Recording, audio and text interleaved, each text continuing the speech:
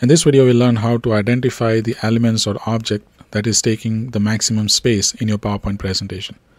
Now imagine a scenario. You create a, a really groundbreaking PowerPoint presentation and you're ready to send that to your colleague uh, or emailing to your, your boss. And then you realize that the PowerPoint presentation size is really big.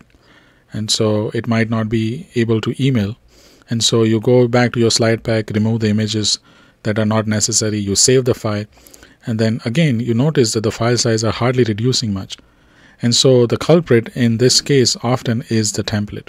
So if your company, if you're working for a company or any business, often they they have a business template that you usually are expected to use.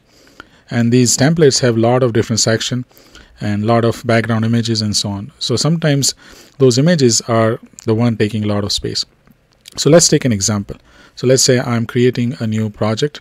So I'll go and and I'm going to use my super company uh, template and I'm going to create my new presentation and this is pretty fancy so I really don't need this so I'm going to delete this slide uh, and I'm just simply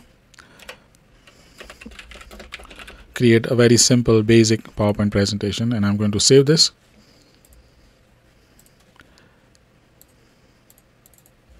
okay meeting notes right? And so I go and I was like okay this looks simple and straightforward. And then I go and look at this file and it's 4.63 MB literally I have just three lines here right? And so you wonder what's going on. There's nothing that I can remove to reduce this size. And so as I said it's usually the template and the image is in the template. And so many times you know in our case there's one or two images but many times the company template have a lot of different images. And so one way to to actually fix this is actually to create the zip file. And so let's go ahead and copy this file. And I'm going to rename this as .zip okay? And it will say well are you sure you want to change the file extension? I said yes okay? And once you create the zip file actually it is it is a combination of different files. And so you, if you open that uh, you can see the content in the PowerPoint presentation. And so it comes with its own set of folders. But usually if you look in under PPT folder uh, again you can go through these and look look for the culprit image. So in this case I'm going to look for media. And right here I can see this one image itself is taking 4.3 MB and so if I'm not using this I just need to remove that.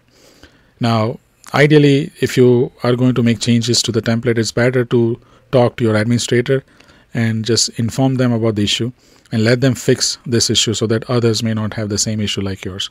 And so the best way is just to let them know if there are images that are really big uh, just reduce the size uh, so that it doesn't take a lot of space and create unnecessary large PowerPoint presentations that are difficult to to email and so on in our case you can delete this. Let's go back and let's just rename this to pptx okay. And now I have this PowerPoint presentation. Let's look at the size of this. It's only 376 KB so we were able to reduce this from a really large size to much smaller and actually more reasonable size. I'm going to close this. And so this is how you actually identify the the, the culprits. Uh, often these are those images that probably you know the admin found online or some some big images and then usually they actually go and reduce the size in PowerPoint but the actual image size is still the same.